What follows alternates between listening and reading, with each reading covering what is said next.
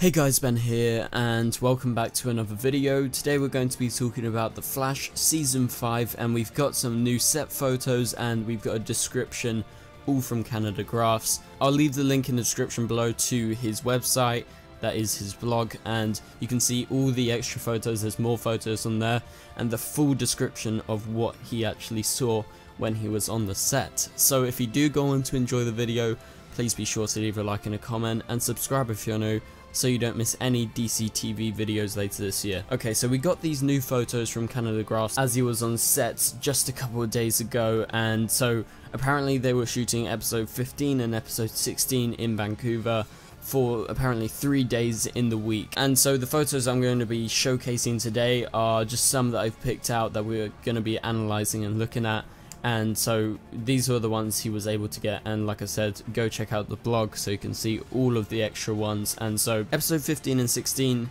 so with them shooting both episodes presumably it might be a two part episode but right now the details are kind of thin. We don't exactly know. So I wouldn't say that's confirmed. It's definitely not confirmed. It could be a two part episode to do with the scenes that I'm going to be talking about but also it could just be that they're overlapping in terms of when they're shooting, but we'll have to wait and see. But anyway, this is most likely from episode 16, the bit we're going to be talking about. And so on the set the other day, we had Grant and Jessica Parker Kennedy on the set doing a scene together, and so these are where the photos come from, and I'm going to read you out a brief description before we analyze the photos. So this is the key part of what I can take out from what Canadagraphs saw. And so this was what the director said on the set. Grodd is fighting and that's when King Shark lands, and that was shouted out on the set. And so the last time we saw Grodd was in Legends, I don't exactly know where he actually ended up, and King Shark I do believe was in Argus, so this is the episode they were talking about earlier in the season. It wasn't confirmed, but now it's definitely confirmed that these two are going to be in the same episode and it's going to be heavily orientated around these two creatures, and so this episode is very anticipated for a lot of people and hopefully it's really good. I'm a fan of Grodd. I like him especially in the earlier seasons but I didn't particularly like that season 3 two-part episode. I thought it was alright, it wasn't anything too special. King Shark normally delivers every time so you know seeing these together you know I'm really excited. Let me know if you are but going over the extra details that was that Canadagraphs wrote down on his blog this is how it goes. A little while later, Grant as the Flash and Jessica as XS were on set doing a scene where they were clearly engaging him with one of the two mutant animals. The speedsters came prepared for a fight with Grodd it seemed, as they have some device on their heads that had earmuffs and two red lights on it. Again like the earlier scene, no action really took place, just the pair of speedsters standing in the street, staring in the same direction, saying something. And so that's the, you know, key element of what Canadagraphs actually was able to understand from being on the set, so let's break it down and let's break the photos down at the same time. So as you can see in these photos, we see that Jessica Parker Kennedy and Grant Gustin are on set and they are wearing these devices as it was described, most likely to do with Grodd because they were prepared. Obviously in the past we've had different types of devices but this is more advanced, this is like properly made, like Cisco has properly made this and it's got two flashing lights and is obviously for Grodd, so Grodd can't mind control them, and so they're prepared for a fight, but King Shark lands in, and it has to be noted Right now, as far as Canadagraphs could see, there was no CGI stand-in actors, so any people in like a grey suit, so the CGI guys can, you know, build up the characters around it. So it seems like this is either going to be they're quite far away in terms of Grodd and King Shark when they land, or it's going to be that they are going to be fighting, it's going to be a massive fight, so, you know, it's probably easier if there's nothing there. It's probably a bit more of a hassle if there was actually a person there and they would have to hide him and do all of that, so maybe it was just uh, in terms of being easy, but most likely it's because there's some sort of action scene going on, and that is what Canadagraphs was able to spot, but like I said, they had these devices on their head, and these devices are most definitely used to stop Grodd from using his mind control on them.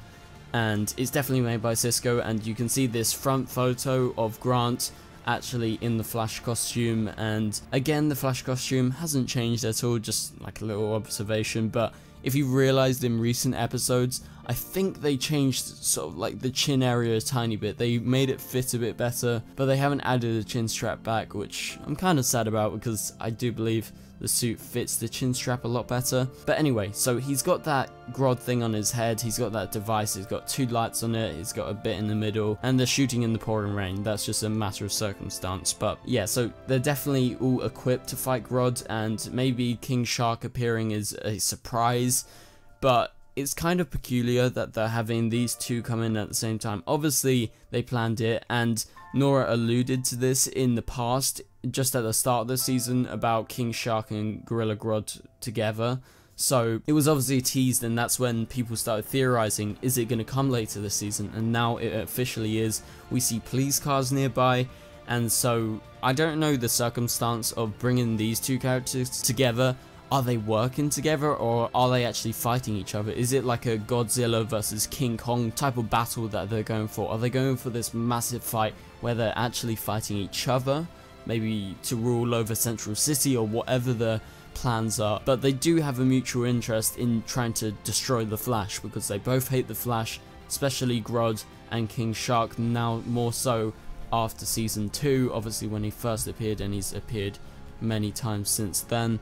So the reason as to why they're working together or fighting each other, still unknown, but I think it's just going to be a really, really kind of awesome. I think it's just going to be a really awesome episode with them, you know, going at it, whether it's to the Flash and XS.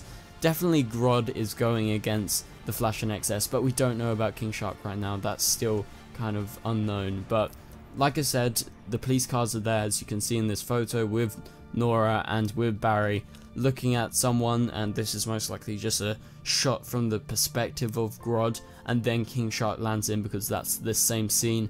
And we got another photo of Grant and it's close up and it's a little bit blurry because he's moving but he's got that and you can see it a bit better in terms of the head mask and what else is going on in this scene. So yeah there's not too much more photos. The photos sort of all encapsulate the same thing. It's within a few frames. Apparently Canadagraphs was there for an hour, but it was just really hard to get photos this time. And so I'm guessing over, you know, the next week or so, they're going to be filming more of this. Maybe we'll get some more set photos. And perhaps, you know, the stand-ins come in and actually perform some actual, like, CGI work right there. But for now, it's just them and most likely this is just going to be a big fight scene but apparently not much went on that night so maybe they're waiting for another night and the final thing that I want to talk about and this came to my attention the other day and I think I mentioned it previously but Danielle Panabaker confirmed as to why in episode 10 Barry wasn't in too much of the episode, why he was in the pipeline. He was just on the video footage and he appeared a few times. And so Danielle confirmed that Barry was in the pipeline for most of the episode of episode 10 was because Grant was actually in Gotham, that being they were shooting in Chicago in America because they shoot in Canada in Vancouver normally, finishing up the crossover because that's where they shot most of that episode so that was the final episode of the Elseworlds crossover. So yeah, I thought I would just mention that because I know some of you guys were wondering why he wasn't in much of the episode. So he was shooting in Gotham, that being Chicago, and he was finishing the Elseworlds crossover, so that happens quite a lot on the DC shows. I know the Kevin Smith episode of Supergirl ran over into the crossover, so you know, maybe that's why they can't appear as much in some of these episodes, but it all comes back around and we all get benefits in terms of Grant being in the crossover for a lot of it, for a hell of a lot of it actually, and it just so happened the ramification was he didn't appear all too much in last episode, although he was on the screen. Yeah, he didn't do too much, but he still, you know, had a role to play, and I wasn't too bothered by that at all. I really did like last episode. And so, before we end this video, guys, I just want to remind you guys, Supergirl is back this Sunday, so tomorrow night, so please be sure to turn on notifications.